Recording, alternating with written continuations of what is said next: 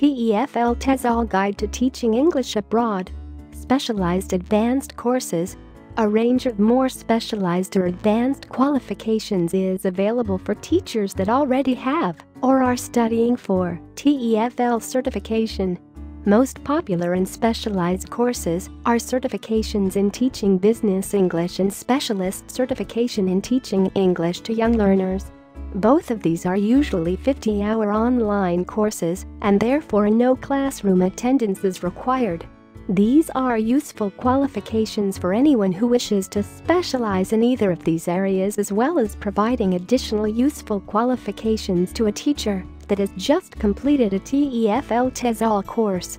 The most advanced TEFL TESOL qualification is the Diploma in TEFL. This course is a very high-level, 250-hour course that builds upon knowledge gained from the TEFL certificate course. The TEFL Diploma course again is a 100% online course without any requirement for classroom attendance, but you must already possess an internationally recognized TEFL certificate in order to be accepted onto a TEFL Diploma course. Beware of courses claiming to be diploma courses but which offer less than 200 hours of study. These qualifications are not true diploma courses and most employers will not recognize them as such.